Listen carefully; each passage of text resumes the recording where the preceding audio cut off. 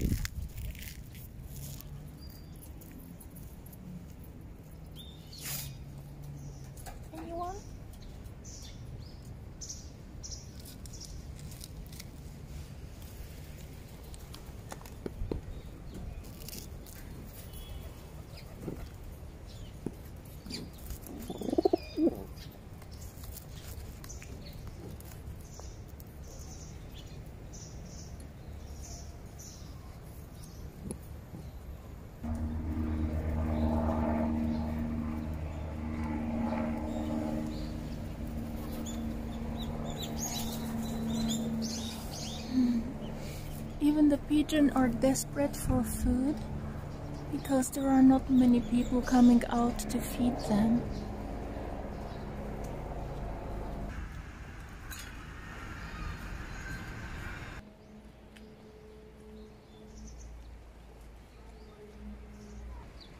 See, this is so beautiful, this angle. Because the tree is extended with the shadows on the opposite wall of the river.